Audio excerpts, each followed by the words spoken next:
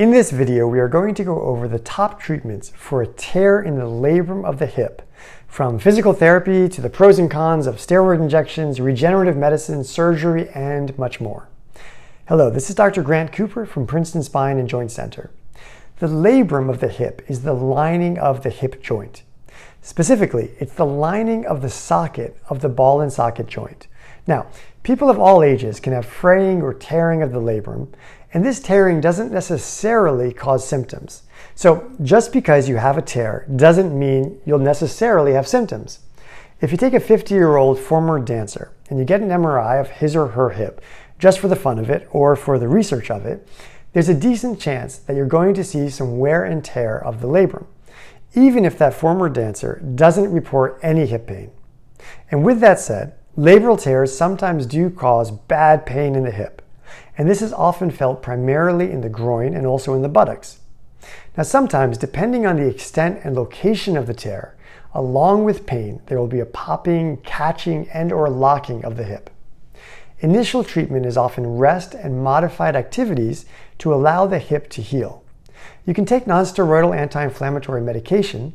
This might play some small role in helping to calm the inflammation in the hip, but these medications are really better used to control the pain in the short term. If you had a labral tear in the hip and you took Advil for a week and you also rested the hip, and after that week the pain was gone, you would probably presume that the Advil took away the inflammation and the pain, and on the surface that would make sense to conclude. But in fact, it's much more likely that the Advil controlled the pain and a week of relative rest allowed the inflammation to self resolve. This is because it turns out that very little of what you take by mouth will actually reach the hip joint itself. So, oral medications can be used for pain control, but they have a very limited role in trying to solve the actual problem. Targeted exercise and physical therapy can be very helpful for hip labral tears. Exercises will focus on increasing your hip range of motion as well as building strength and stability. If the labral tear came because of a repetitive activity such as dancing or gymnastics or running, for example, it's helpful to evaluate your form with a therapist to see if your form can be optimized to take the pressure off of the hip when you're doing that. Now, when these conservative measures aren't sufficient, there are more invasive options that one can consider. Injections performed under X-ray or ultrasound guidance can be helpful.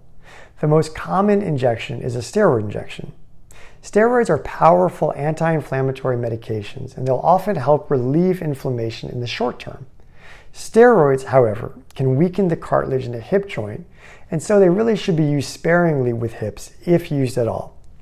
When steroid injections or any other injections are used, they should be paired with targeted exercise so that the inflammation is addressed, but so are the biomechanics so that the inflammation doesn't return as the steroids or the other, or the other medications wear off. An injection approach that I tend to personally prefer for hip labral tears is something called viscosupplementation. Viscosupplementation injections are injections of hyaluronic acid or joint fluid that are done directly into the joint. If you think of a labral tear as a pothole in the road, then you can think of viscosupplementation as a way to pave that pothole with essentially synthetic joint fluid. Now, another injection approach that's gained favor recently is, is utilizing regenerative medicine. Specifically in the hip, platelet rich plasma, which is also known as PRP, or also mesenchymal stem cells from your body's own bone marrow, can be injected into the joint to help the body to heal itself.